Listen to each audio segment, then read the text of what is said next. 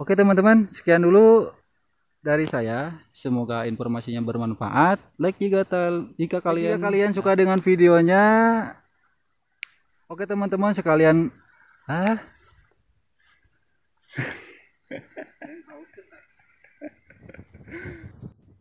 Assalamualaikum warahmatullahi wabarakatuh Halo teman-teman apa kabar ya Balik lagi bersama saya Haki di channel Ngabolang Receh Di video yang kemarin sempat ada teman saya yang tanya di kolom komentar Bang eh, bagaimana sih kok bisa sampai ke tempat seperti itu? Katanya bagaimana di perjalanannya? Nah kebetulan eh, pada kesempatan kali ini saya akan sedikit buat gambaran atau di balik layar ke tempat saya hunting e, kereta api seperti biasanya. Simak terus videonya sampai selesai. Terima kasih buat teman-teman yang sudah subscribe dan buat teman-teman yang belum subscribe klik tombol subscribe di bawah dan aktifkan juga lonceng notifikasinya. Terima kasih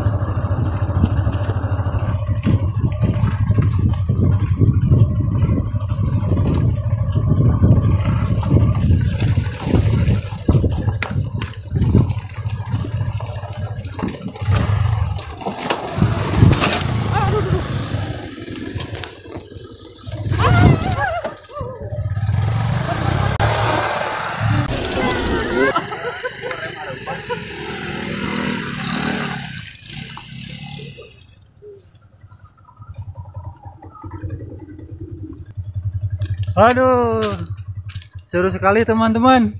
Sampai saya nggak bisa ngomong, saya nggak berani ikut boncengan teman-teman. Takut.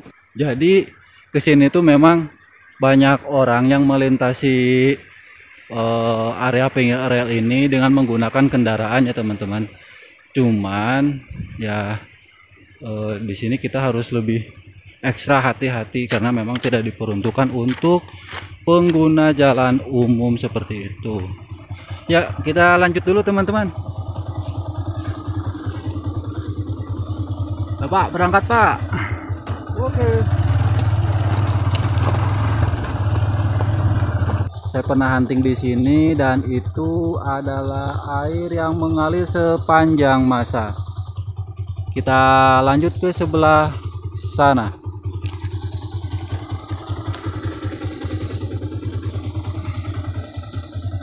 Berangkat.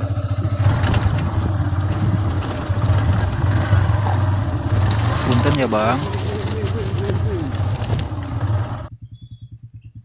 tuh banyak orang juga teman-teman yang nyuci motor bawa galon. Jadi sumur air bening di tempat tadi itu memang digunakan oleh para warga sekitar Eh, terutama pada saat musim kemarau ya teman-teman. Karena memang air di sebelah sana itu tidak pernah kering sama sekali.